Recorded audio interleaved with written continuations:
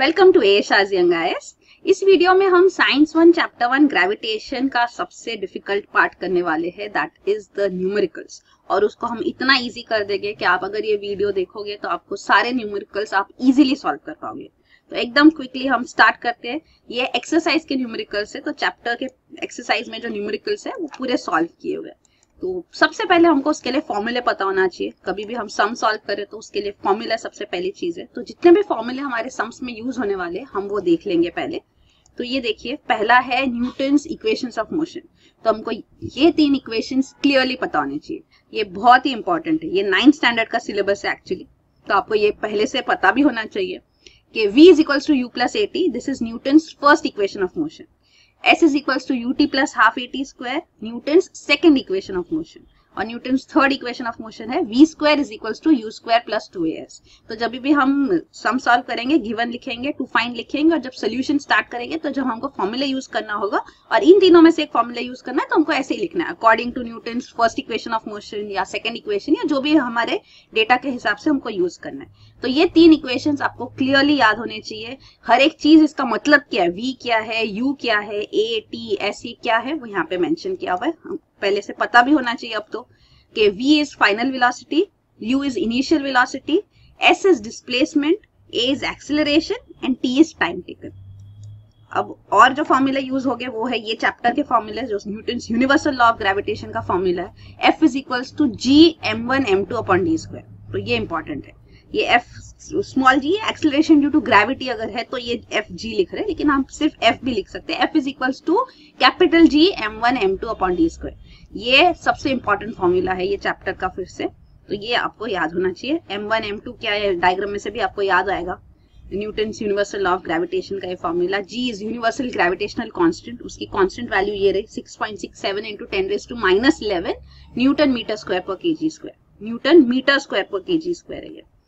तो ये आपको याद होना चाहिए। यहाँ देखिए m1 m2 क्या है वो भी यहाँ मेंशनड है। G is F is gravitational force G is gravitational constant m1 mass of first object m2 mass of second object and d is distance between the masses centre से हमने distance लिया। तो ये ग्रेविटेशनल कांस्टेंट का value generally दिया होता है, नहीं भी दिया हो तो आपको याद होना चाहिए। 6.67 into ten to minus eleven तो ये है। इसके बाद आगे जो और एक फॉर्मूला जो यूज़ होगा वो है ये। यहाँ एक्चुअली जो इम्पोर्टेंट फॉर्मूला है वो ये है। G is equal to G M upon R square ये आपकी टेक्स्ट बुक का ही कंटेंट है। तो small g is acceleration due to gravity तो ये फॉर्मूला भी सम्स में यूज़ होगा। तो हम डायरेक्टली ये फॉर्मूला यूज़ करेंगे। यहाँ पे उसका डेरिवेशन भी दिया है कहाँ से आया? तो हमारे दो फॉर्मूले हमको ऑलरेडी पता होना चाहिए। Force force is mass into acceleration ये तो पता है। और अगर फोर्स ग्रेविटेशनल फोर्स है तो ये एक्सेलरेशन ड्यू टू ग्रेविटी होगा। मतलब ए जी बन जाता है। ए और जी सेम है। A is acceleration G is acceleration due to gravity small G, capital G हमने ऑलरेडी देखा, capital G is universal gravitational constant तो ये तो Newton universal law of gravitation का फॉर्मूला है F is equal to G M M upon R square अब यहाँ पे क्योंकि एक ऑब्जेक्ट अर्थ है तो एम कैपिटल एम मतलब मास ऑफ़ अर्थ है ना? कैपिटल आर मतलब रेडियस ऑफ़ अर्थ और ये स्मॉल आर मतलब रेडियस ऑफ़ अर्थ फिर हाइट पे अगर ऑब्जेक्ट होगा तो वो वो भी ऐड होगा ना? तो small R is equal to R plus that value पर जनरली वो वैल्यू बहुत कम होगी compare to the radius of the earth which is actually 6.4 point four into ten raise to six metres तो इसीलिए स्मॉल आर को capital R ही हम कंसिडर कर सकते हैं वैल्यू में ज़्यादा फ़र्क नहीं आएगा। तो इसीलिए यहाँ पे जब ये F is to M G और F is to G M M upon R square को दोनों को हम इक्वेट करेंगे, क्योंकि दोनों फोर्स के फॉर्मूले हैं तो स्मॉल एम कैंसिल हो जाता है मतलब मास ऑफ़ ऑब्जेक्ट की ज़रूरत नहीं हमको। Already G is G M upon R square ये फॉर्मूला भी यूज़ होता है सम्स में, इसीलिए ये फॉर्मूले भी याद रखना है, ये वाले फॉर्मूले को। तो अब तक क्या फॉर्मूले देखे हमने? Newton three equation of motion Newton's universal law of gravitation का फॉर्मूला ये वाला ही, और ये। इतने फॉर्मूले हमको याद रखने इससे हम सारे सम सॉल्व कर पाएँगे। तो अब शुरू करते हैं। फिफ्थ क्वेश्चन है आपके टेक्स्ट बुक के पीछे solve the following examples A वाला क्वेश्चन जो है, वो है an object takes five seconds to reach the ground from a height of five metre on a planet what is the value of G on the planet तो अब ये question हमारे सामने आएगा तो सबसे पहले हमको इसमें से गिवन लिखना है कि दिया हुआ क्या है। तो गिवन क्या है? फाइव सेकेंड्स मतलब time T is equals to five seconds height है मतलब displacement S is equals to five metre और एक और इन्फॉर्मेशन हम खुद से लिख रहे हैं initial velocity U is equal to zero वो कैसे आया हम देखेंगे। और जो ढूंढना है वो है वैल्यू ऑफ़ जी मतलब acceleration due to gravity G वो क्वेश्चन मार्क है। इनिशियल वेलोसिटी यू ज़ीरो क्यों लिया? हमने ये एक्स्ट्रा इन्फॉर्मेशन दिया क्योंकि हमें ये इन्फॉर्मेशन दी गई है कि ऑब्जेक्ट एक हाइट पे तो object takes five seconds to reach the ground from a height of five metre तो हाइट ऑफ़ फाइव मीटर पे ऑब्जेक्ट है और वो ज़मीन पे आएगी। तो जब शुरू में हाइट पे ऑब्जेक्ट है तो उसका इनिशियल वेलोसिटी शुरू में तो ज़ीरो ही है। तो इसीलिए U is equal to zero metre per second लिया है हमने। तो ये है, तीन इंफॉर्मेशन दी है जी ढूंढना है। तो हमको एस यू टी दिया हुआ है जी ढूंढना है। तो इधर से हमको कौन सा फॉर्मूला आपको लगता है हम यूज़ करेंगे? जो अब तक हमने चार फॉर्मूले देखे, पाँच फॉर्मूले देखे। तो जो एस वाला डिस्प्लेसमेंट वाला फॉर्मूला वो Newton second equation of motion से आता है। तो जो हमारा सोल्यूशन होगा, उसमें हम स्टार्ट करेंगे। According to Newton second equation of motion S is equals to U T plus half G T square तो ए टी स्क्वायर होता है ए मतलब G acceleration due to gravity तो वो हाफ़ जी टी स्क्वायर लिखेंगे। तो यहाँ यू ज़ीरो है एस दिया हुआ है फाइव और हाफ़ जी हमको ढूंढना है जी और टी टाइम पे फाइव सेकेंड्स दिया है। तो ये कैलकुलेशन है फिर। फाइव स्क्वायर ट्वेंटी फाइव हो गया। जी को अकेला किया अगर हमने तो ये टू इधर चला गया तो five two ten ten upon twenty five तो G is equal to ten upon twenty five that is twenty five twenty five के टेबल में टेन नहीं आएगा तो हम ज़ीरो पॉइंट डालेंगे और हंड्रेड हो जाएगा ट्वेंटी फाइव फोर जा hundred so G is equal to zero point four metre per second square तो ये हमारा फ़र्स्ट सम सॉल्व हो गया, इसका आंसर हम लिखेंगे. What is the value of g on the planet? तो आंसर है on on the planet, the value of acceleration due to gravity, g is equals to 0.4 metre per second square unit correct डालना बहुत ज़रूरी है। Acceleration की unit होती है metre per second square velocity की यूनिट होती है मीटर पर सेकेंड। सो ये यूनिट्स याद रखना बहुत ज़रूरी है। तो ये हमारा सम हो गया। सेकेंड सम देखते हैं। B the radius of a planet A is half the radius of planet B if the mass of A is ma, what must be the mass of B so that the value of G on B is half that of its value on A. तो अब यहाँ पे हम पहले given लिखेंगे कि दिया हुआ क्या क्या है। तो गिवन में सबसे पहले mass of radius mass of planet A जो है, इसको एम ए कर देंगे हम। दिया हुआ if the mass of A is M A radius of planet A R A कर देंगे इसको। ये डिनोशन हम दे रहे हैं, और आर ए का कितना है? Information is half of radius of planet B and value of G भी हमको half of G B is equal to half of G A चाहिए। ढूंढना क्या है? What must be the mass of B मतलब mass of planet B M B is equal to question mark है ना? Mass of A is M A M B ढूंढना है हम ये दिया हुआ है R is equal to half R B radius of planet is half of radius of planet B और जी बी यहाँ पे दिया हुआ है। What must be the mass so that the value of G तो वैल्यू ऑफ़ जी कितना है? On B is half that of value on A तो G B is equal to half of G A तो ये given और to find हमने लिख लिया तो इतना हमको, ये जो इन्फॉर्मेशन है क्वेश्चन से ही आता है, इससे हमको क्लैरिटी मिल जाती है, हमको पता चल जाता है हमारे सामने क्या क्या है और कौन सा फॉर्मूला यूज़ करना है। तो अभी स्मॉल जी है एम है और आर है मास और रेडियस तो हमारा जो लास्ट में हमने फॉर्मूला देखा वो यूज़ होगा यहाँ पे तो एक्सिलेशन ड्यू टू ग्रेविटी का। तो we know that G is equals to G M upon R square बराबर? तो जी ए प्लानट ए का G A is equal to G M A upon R A square G B is equal to G M B upon R square R B square तो ये इतना तो clearly हमको समझ में आ जाता है। अब क्या करना है? अब डिवाइड करना है, क्योंकि हमको पता है G B is equal to half of G A तो यहाँ पे जब हम दोनों को डिवाइड करेंगे जी दोनों में आता है तो जी कैंसिल हो जाएगा। तो आगे स्टेप करेंगे हम। Given that G B is equal to half of G A तो इसीलिए therefore G M B upon R square is equal to G M A upon ये वन अपॉन टू टू नीचे आ गया अपॉन आर ए स्क्वायर तो M B is equals to कितना आ रहा है यहाँ पे? M B is equals to M A लिखा जी जी कैंसिल हो गया आर बी ऊपर चला गया R B square upon two R A square तो ये हमारा एक इक्वेशन बन गया कि एम बी ये है। ठीक है? अब इसके अंदर भी हमको एम ए भी दिया हुआ है और आर बी आर ए भी दिया हुआ है। और हम प्रीवियस हम देख चुके हैं कि आर बी और आर ए के बीच में भी रिलेशन हमको दिया हुआ है। ये गिवन है। ये गिवन का येलो हाईलाइटेड है। R A is equals to half of R B भी दिया हुआ है। तो R is equals to half of R B मतलब R B upon R is equals to two तो ये R B upon R A यहाँ पे। तो R B upon R A actually two square आ जाएगा यहाँ पे। तो M B is equals to M A upon two और R B upon R A मतलब टू स्क्वायर तो ये हो गया। तो ये टू स्क्वायर फोर हो जाएगा। और ये डिवाइड बाय टू है मतलब कि एक्चुअली टू ही बचेगा तो M B is equals to two times M तो ये हमको ढूंढना है। क्वेश्चन ये है कि मास ऑफ़ प्लानट बी कितना होगा? तो हमारा आंसर आएगा mass of planet B must be twice the mass of planet A तो ये हमारा आंसर हो गया। फिर नेक्स्ट क्वेश्चन सी है the mass and weight of an object on earth are 5 kg and 49 newton respectively तो mass भी दिया है वेट भी दिया है। What will be their values on the moon?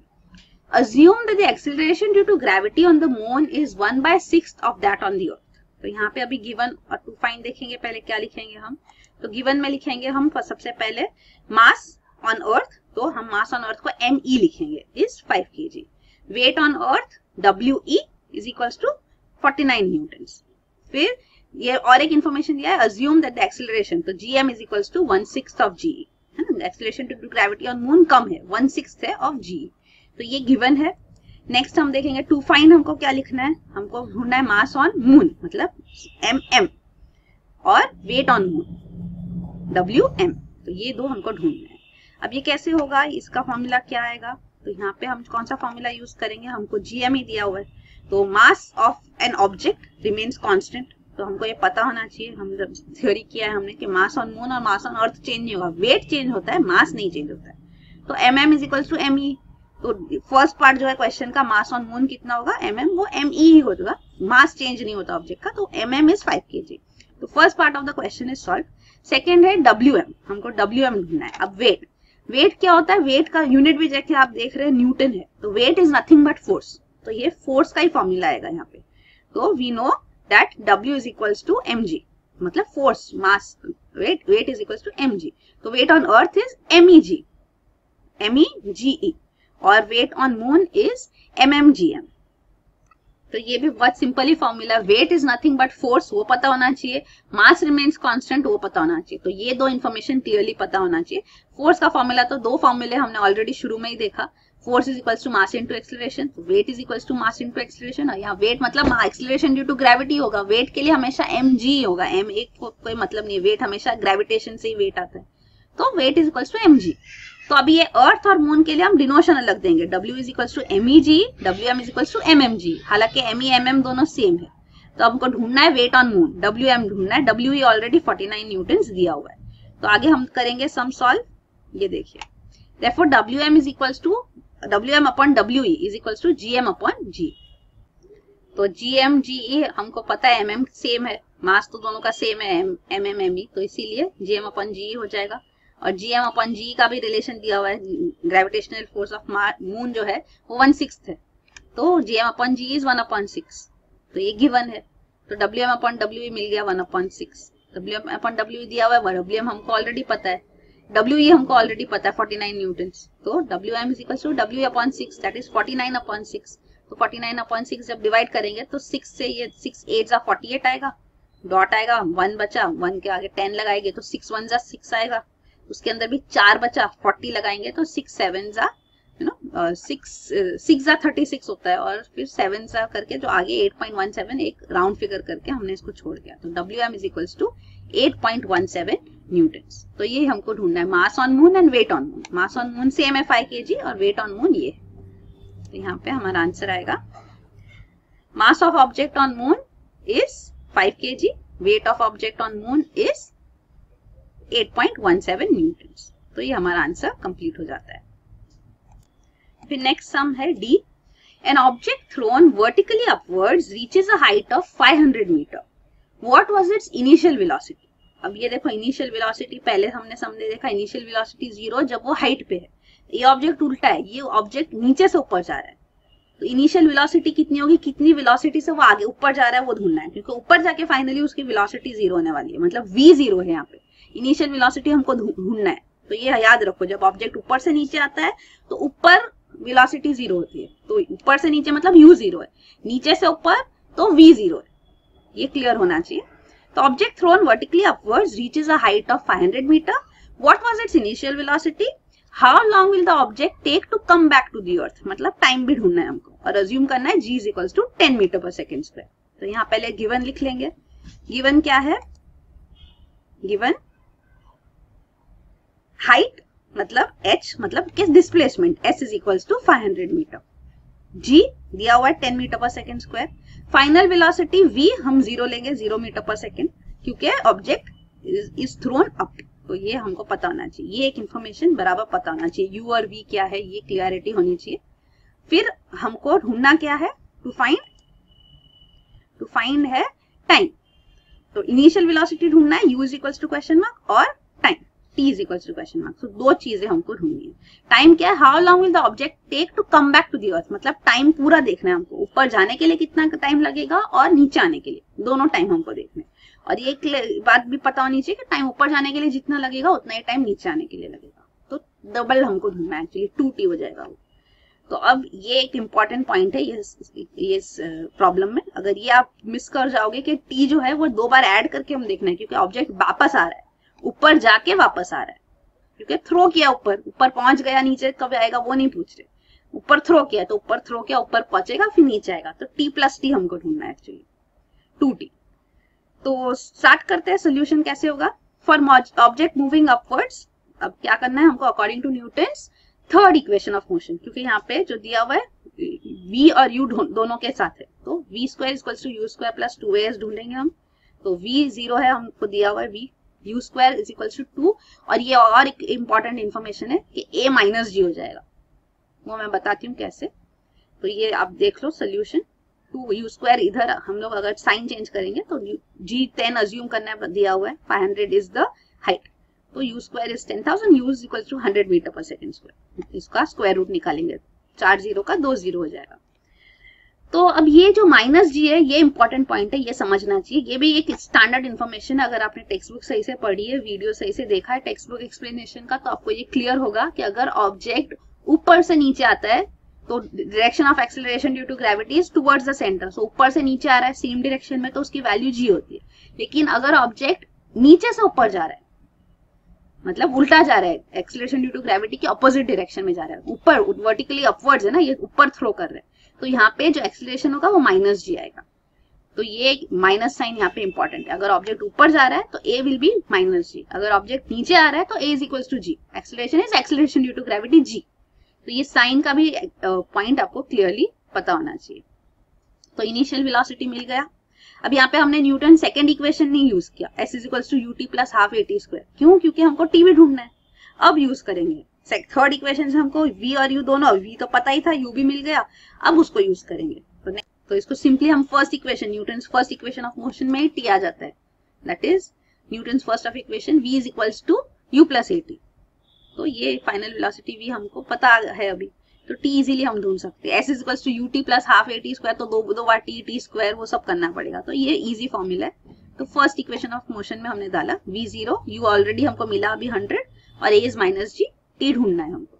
तो zero is equals to hundred minus ten T और ये g ऑलरेडी गिवन में assume T G is equals to ten metre per second square तो ten T is hundred t is equals to 100 upon 10 that is 10 seconds तो time t भी मिल गया 10 seconds तो ये 10 seconds क्या है? 10 seconds नीचे से ऊपर जाने के लिए और time taken to come down also will be same तो time taken by the object to come down is also equal to time taken by the object to go up तो ये इन्फॉर्मेशन भी बहुत इंपॉर्टेंट है। So total time taken is T plus T that is twenty seconds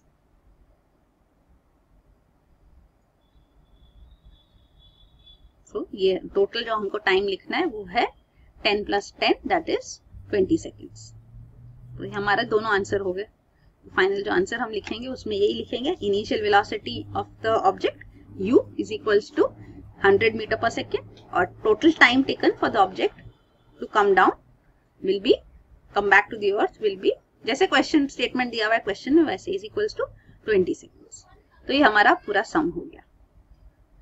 फिर next sum है ई e, वो है a ball falls off a table and reaches the ground in one second Assuming g is equals to 10 meter per second square, calculate its speed on reaching the ground and the height of the table. तो इसमें अभी given क्या आएगा? हम देखेंगे.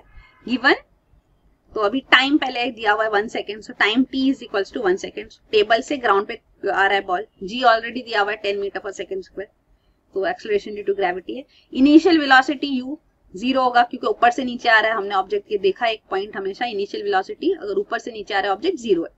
Calculate क्या करना है? Speed on reaching the ground मतलब फाइनल वेलोसिटी और हाइट ऑफ़ द टेबल मतलब डिस्प्लेसमेंट एस तो ये दो चीज़ें हमको ढूंढनी है. अब आगे देखते हैं सोल्यूशन इसका स्टार्ट कैसे करेंगे हम लोग? तो अकॉर्डिंग टू यहाँ पे जो इन्फॉर्मेशन दिया है वी ढूंढना है तो न्यूटन फ़र्स्ट इक्वेशन से ही मिल जाता है। V is equals to U plus A T तो यू ऑलरेडी ज़ीरो है, पता है? ए और टी दिया हुआ है। तो V is equals to U plus G T तो जी और टी दोनों का वैल्यू हम डाल देंगे। तो ten into one so v is equals to ten तो ten metre per second unit लिखना ज़रूरी है।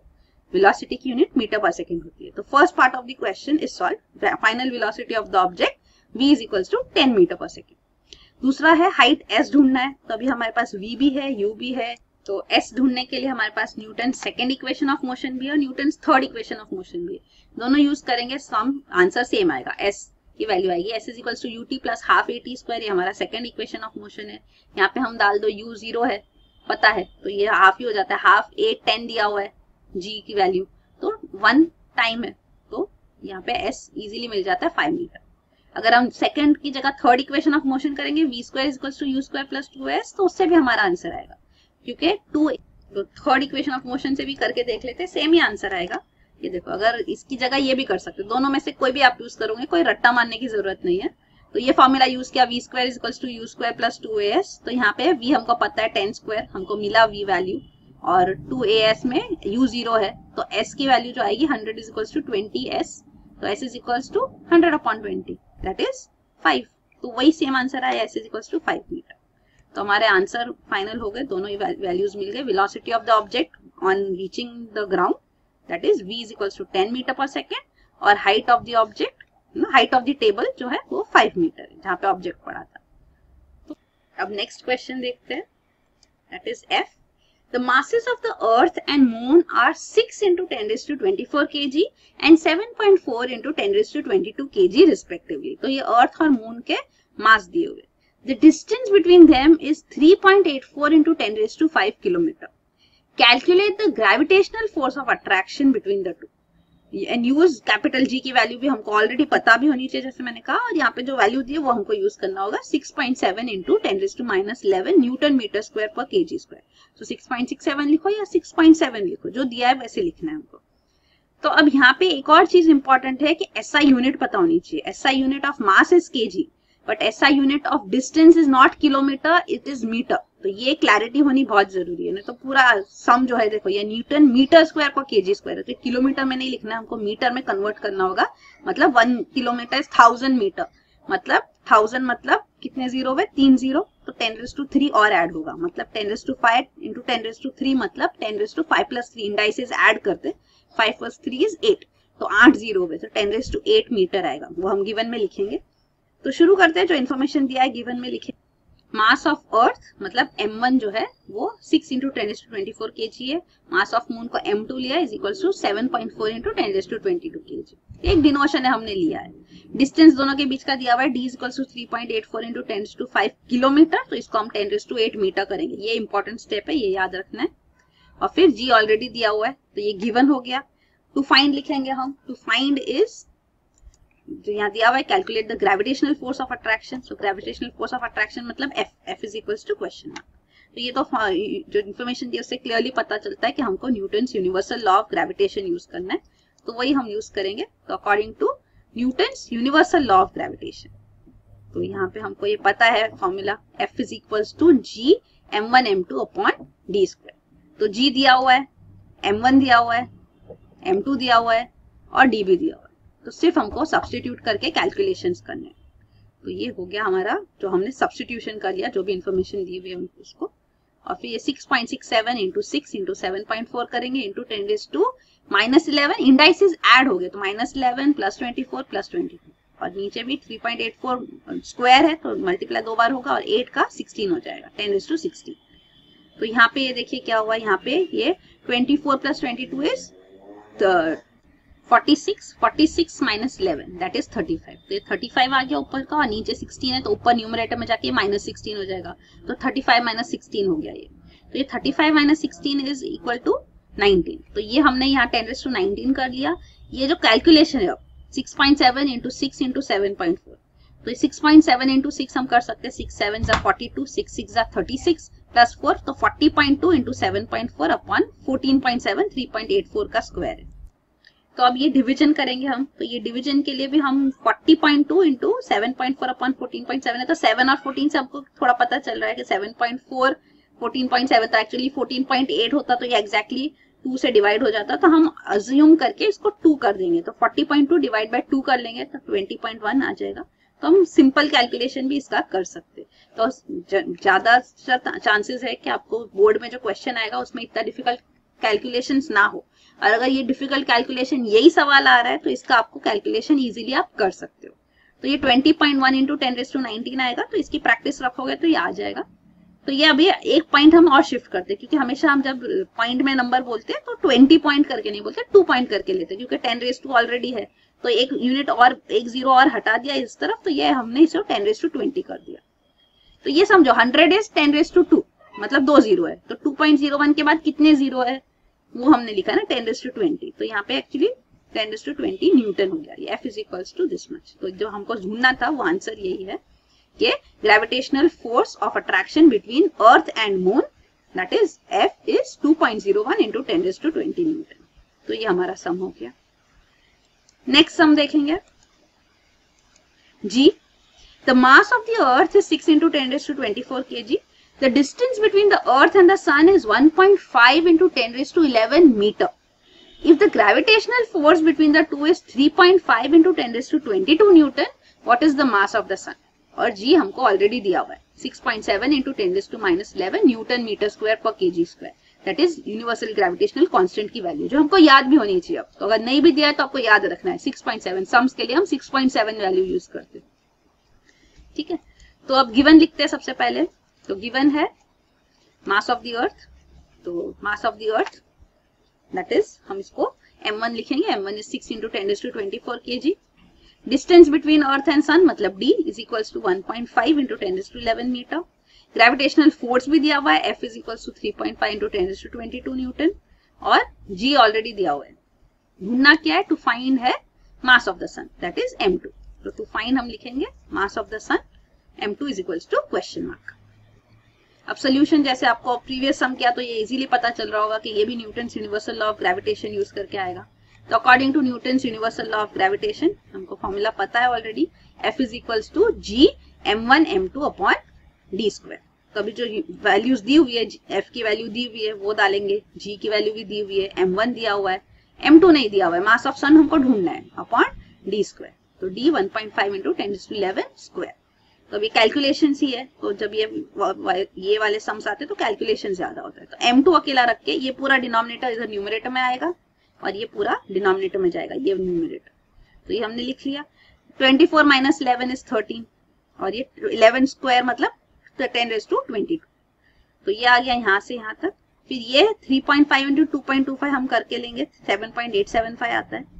और ये जो है ten raise to twenty two का हो जाएगा फोर्टी फोर और ये six into six point seven हमने प्रीवियस में भी देखा फोर्टी पॉइंट टू आता है ये, और ten raise to forty four minus thirteen unit ये जो ten raise to thirty one हो गया ये। तो ये seven point eight seven five upon forty point two इसको हमको सॉल्व करना होगा। तो ये भी डिवीज़न एक्चुअली हम कर सकते हैं अज्यूमिंग 40.02 का एक्चुअली हम 4.02 कर सकते हैं मतलब और एक जो यहाँ पे टेन रेस टू वन नीचे आ जाएगा मतलब ten raise to minus one thirty one का थर्टी हो जाएगा। तो ये हम करके फोर से डिवाइड कर सकते हैं।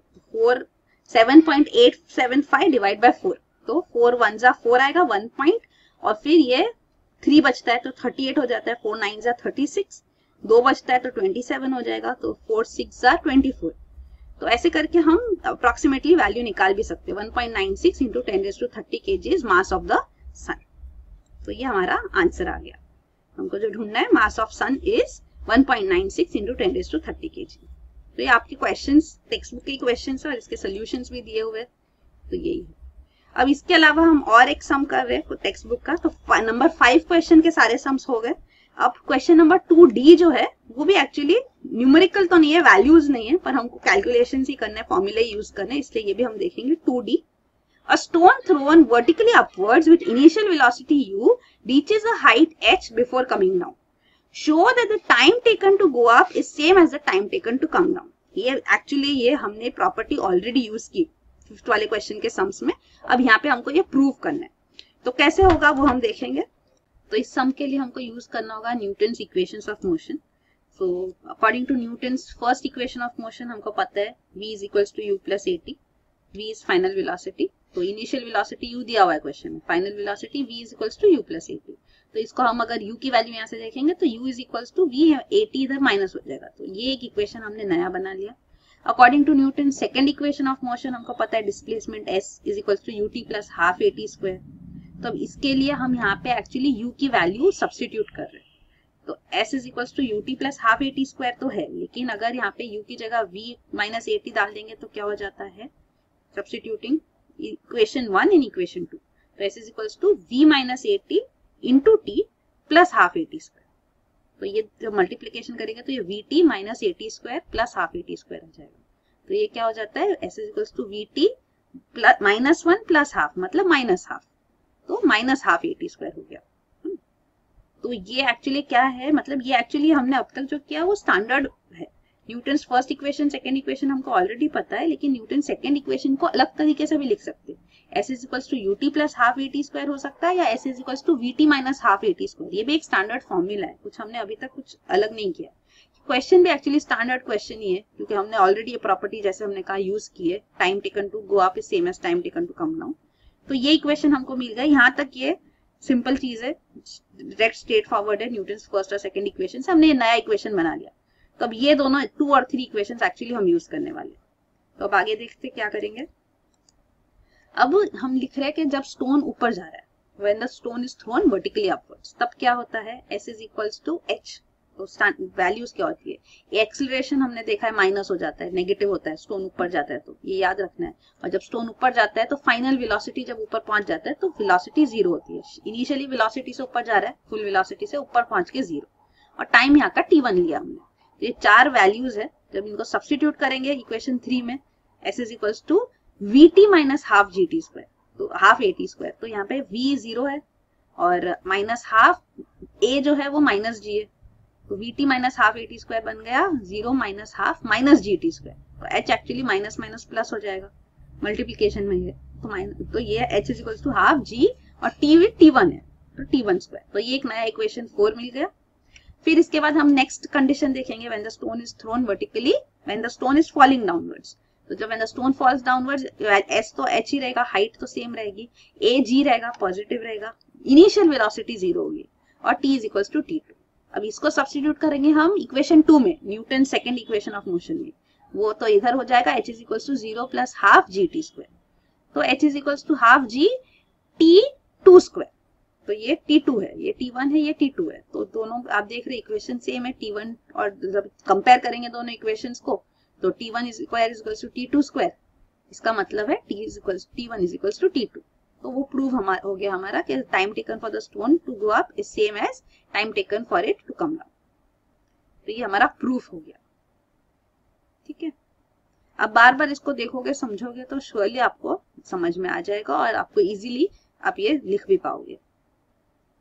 तो ये टू डी क्वेश्चन था। क्वेश्चन नंबर फाइव के अलावा जो हमने डिस्कस किया, जो थोड़ा कैलकुलेट जो फॉर्मूला यूज़ करके है और एक सवाल जो है, वो फॉर्मूला यूज़ करके वो है क्वेश्चन नंबर फोर आपके चैप्टर में एक्सरसाइज में तो क्वेश्चन नंबर फोर है, let the period of revolution of a planet at a distance r from a star be t, capital T. Prove that if it was a distance of 2r from the star, its period of revolution will be root 8t इसका start करेंगे according to Kepler's third law of planetary motion हमको पता है T square is directly proportional to R cube period of revolution और ये directly proportional है तो K is constant of proportionality तो t square equal to k r cube k की value ढूंढोगे तो ये हो जाएगा t square upon r cube इसको हमने इक्वेशन वन कर लिया। अब अगर डिस्टेंस जो है, ये आर जो है टू आर बन जाता है तो टी नया बन जाएगा। तो ये t new square is equal to k two r cube two r cube मतलब टू क्यूब मतलब एट और आर क्यूब तो t new square equal to k eight r cube अब ये जो इक्वेशन है, इसके अंदर हम के की वैल्यू सब्सटीट्यूट करेंगे। तो substitute substituting value of k from equation one in equation two तो क्या हो जाएगा? T new square is equals to k की जगह हम लिखेंगे t square upon r cube into bracket में एट आर क्यूब तो t new square is equals to eight ले लेंगे। अगर r cube r cube cancel हो रहा है तो एट टी स्क्वायर बचा। और टी ये स्क्वायर जो है स्क्वायर रूट कर लेंगे यहाँ पे तो ये स्क्वायर रूट ऑफ़ एट और ये जो है टी स्क्वायर का टी हो जाएगा। तो रूट एट टी तो t new is equal to root eight t तो यही हमको प्रूव करना था। कि पीरियड ऑफ़ रेवोल्यूशन टी जो नया पीरियड ऑफ़ रेवोल्यूशन होगा वो रूट एट टी होगा। तो ये प्रूव हो गया। ठीक है? तो ये हो गए आपके टेक्स्ट बुक के क्वेश्चन अब देखेंगे हम लोग प्रीवियस ईयर्स क्वेश्चंस मार्च 2019 में न्यूमेरिकल्स uh, पूछा था। वन मार्क के लिए एक्चुअली फॉर्मूला पूछा था। ये इनिशियल क्वेश्चन था। Write proper answer in the box तो डायग्राम दिया हुआ था। यहाँ पे देखिए। तो ये डायग्राम है। तो ये डायग्राम में आप देख सकते हैं ये टेक्स्ट बुक से डायग्राम जो है m one m two F is equal to G m one m two upon d square ये दिया हुआ है। अगर डी चेंज हो गया थ्री डी हो गया तो सिंपल है यहाँ पे। डी की जगह थ्री डी लिखना है तो थ्री डी स्क्वायर मतलब थ्री का भी स्क्वायर होगा नाइन हो जाएगा। तो यहाँ पे आंसर आएगा बॉक्स में G m one m two upon nine d square तो ये आपको लिखना था, ये वन मार्क का क्वेश्चन है, जो मार्च 2019 में पूछा है।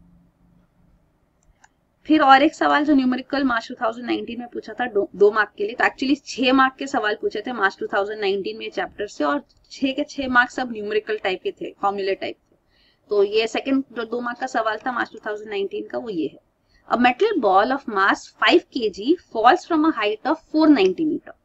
How much time it will take to reach the ground? और given g is equals to 9.8 meter per second square.